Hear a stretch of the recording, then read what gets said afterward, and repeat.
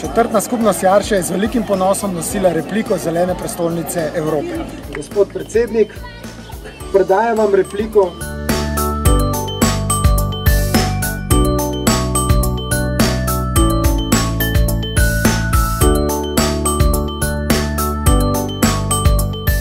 četrti skupnosti Posavja smo vse čas zeleni in podpiramo številne zelene projekte vse čas.